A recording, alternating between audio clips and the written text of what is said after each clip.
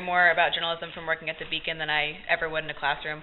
Um, I think working at the Beacons helped me a lot to learn how to react in different situations and how to um, adapt when things don't exactly go um, as planned. And I don't think you can learn that just from being um, like hearing a lecture in a classroom. I think you have to go out and do it. I think that the only way to learn in this type of industry is through experience, um, and a lot of times it's hard to get an internship. Plus, they're not paid. At the Beacon, you're paid, and you get good experience. Um, plenty of clips, and just being able to do the, these things week after week, lay out pages, write articles, edit, um, communicate with people who are having the same goals as you. I talked to Sean Ducey today, and he said that Macklemore will do an interview. Um, and he said he's going to send the specifics, and he has to confirm it. But as of right now, he said that it could be advanced. A lot of what I've learned as a manager is to get over perfectionism because I have a very, very intense personality and I like things to be perfect. And you're just, when you have this many people working together, it's not always going to be perfect. But that doesn't mean it's bad. My name's like the ugliest face there ever was, so I know you guys don't think I'm ugly. anyway, what do you write this? um, uh, like what's being renovated over summer? Kinda, no? Wait, what was it? I don't know. They always have. And then also the um, academic senate um, is going to have their final meeting on the on Founders Day.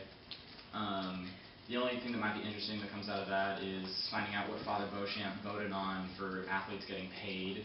I think that um, I really enjoy doing my Beacon stories way more than like writing a paper for my English class or doing um, environmental science homework or whatever, um, especially more than BibTrad.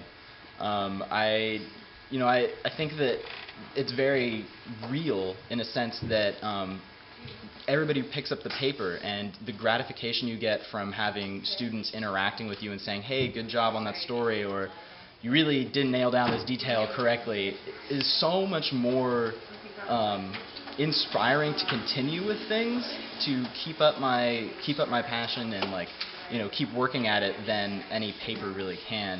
Yeah, I think one of the coolest things about working for the Beacon is that you can have something in print or online or whatever um, every single week, something that you worked on and you kind of put yourself into. Um, and for me, there's such a high from having a byline. I remember my first one, and it was the coolest day ever. And I read, like, I grabbed as many copies as I could, and I called my dad, and I like took a picture of my work and sent it to him.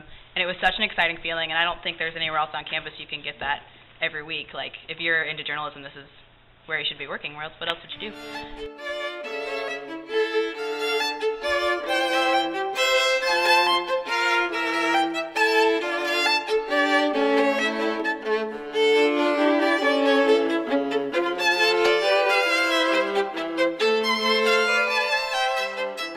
And um, the more you do it, like just having a story every week, the more you believe in yourself. And that's two really big things for me: is just having confidence in my writing and getting better stories because of it. Just through the actual like process of having to write the articles, having to submit them, having to get them back from my editors week after week, and trying to figure out what am I doing wrong and how can I make this better. I feel like there was a very quick learning curve for what counts as you are doing the, your job as a journalist right and what is not doing it right.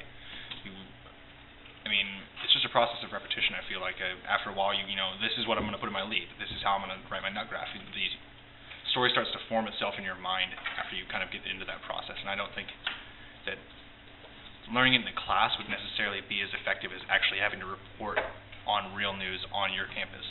The stick.